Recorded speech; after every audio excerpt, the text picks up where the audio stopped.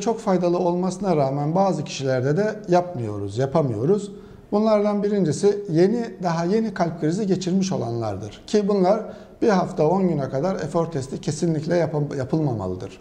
İstirahat ağrısı olanlar yani oturduğu yerde ağrısı olanlar bizim unstable dediğimiz hastalara da efor testi yapılmamalıdır.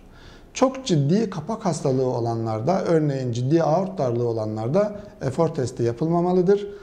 Kalbin kasılma indeksi çok düşük olduğu, yani EFS'i düşük olduğu, kalbinde büyümesi olan ciddi kalp yetmezliği olan hastalarda da efor testi yapılmamalıdır. Bir de efor testi istesek de yapamayacağımız kişiler vardır ki bunlar ileri yaştaki insanlar ya da ortopedik bir takım bozuklukları olan insanlardır.